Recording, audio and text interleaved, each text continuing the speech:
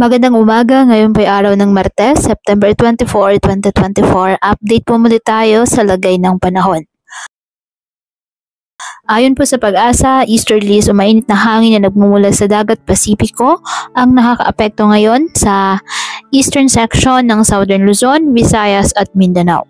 Samantala, wala na po tayong minomonitor o namamataang sama ng panahon, low pressure area o bagyo sa loob ng Philippine Area of Responsibility na maaaring makapekto sa ating bansa.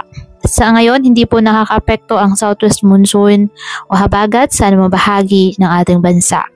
Easterlies po ang pangunahing weather system na kung saan Asahan ang bahagyang maulap hanggang sa maulap na halangitan with isolated rain showers or thunderstorms sa Bicol Region, Eastern Visayas, Caraga at Davao Region. Apektado naman po ng mga localized thunderstorms ang Metro Manila at nalalabing bahagi ng ating bansa.